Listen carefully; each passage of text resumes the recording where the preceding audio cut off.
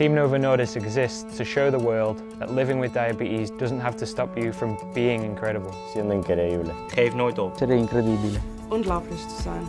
We use cycling as a platform because it's one of the toughest endurance sports in the world. And one that competes globally. We're an international group of 16 riders from 10 countries. Because diabetes is a global family.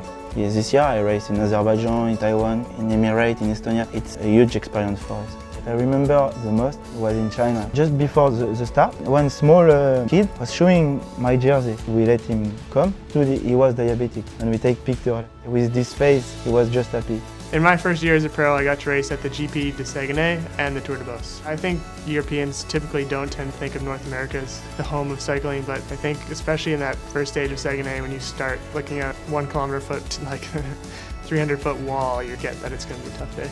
So I've raced the uh, Tour of Denmark two times now in my career. The Tour of Denmark definitely feels like a home race. When we're there, I feel like our team stands out. We've more fans than anyone else.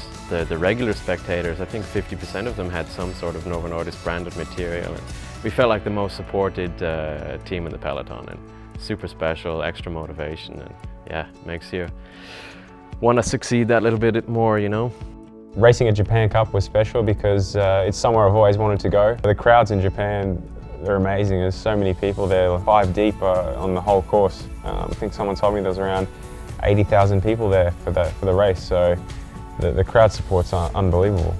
As I got the call up for stagiaire to the pro team, the British Elite Championships was held on the Isle of Man. It was great to be able to race against the biggest riders in Great Britain on home road. I did the time trial which started two, three miles from my house and then the race followed the, the famous TT course. It was just an absolute buzz to race on home roads with support signs on the road. Being around the course was unbelievable. It was just like, it was, it was such an experience that I'll, it'll stay with me forever. Looking back, the day went fantastic. That last stage in, in Colorado, I had an objective to get in the breakaway. Attitude heading into the stage was that it didn't matter what happened, it didn't matter what scenario was thrown at me. So I definitely took the offense is the best defense policy. Got really motivated before the start and made sure I was up the front and as soon as the race started, I went on the attack. I ended up working out and I got in that breakaway and got to ride out the front of the bunch for a couple of hours. My coach called me, asked if uh, I'm ready for the Milano San Sanremo. I'm ready, the box is, uh, is ready, uh, I can go.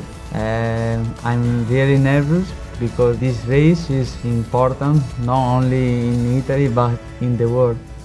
Our mission is to inspire, educate and empower people affected by diabetes around the world.